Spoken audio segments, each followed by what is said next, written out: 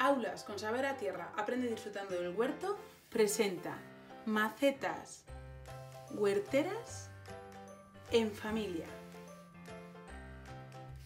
Este proyecto está realizado por Ingenierías Sin Fronteras Castilla y León, Liga Española de la Educación y la Cultura Popular y la Facultad de Educación de Palencia.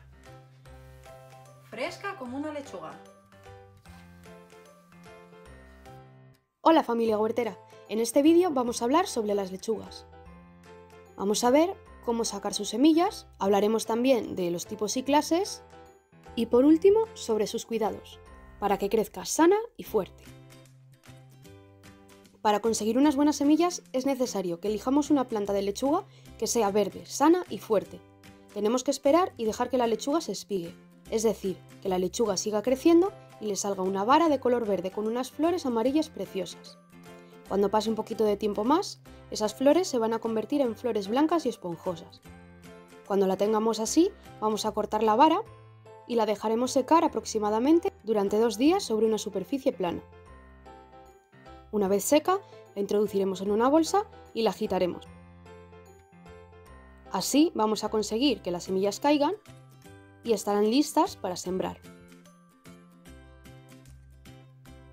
Existen muchos tipos de lechuga. Hay unas llamadas de primavera que se plantan entre febrero y mayo. Aquí destaca la lechuga romana. Por otro lado tenemos las lechugas de invierno. Estas se plantan sobre agosto y octubre.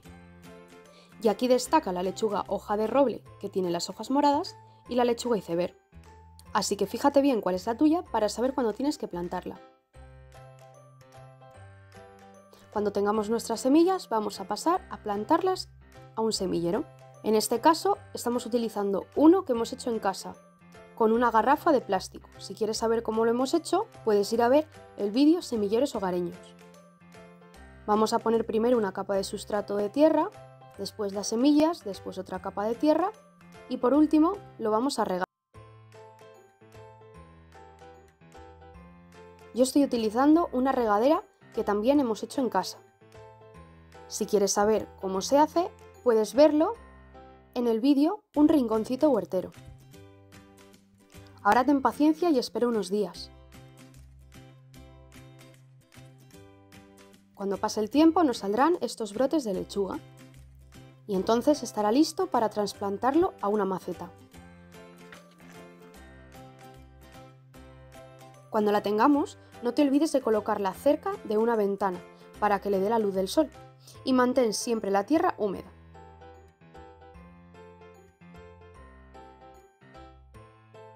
De esta manera, nuestra lechuga en pocas semanas crecerá y estará lista para comer.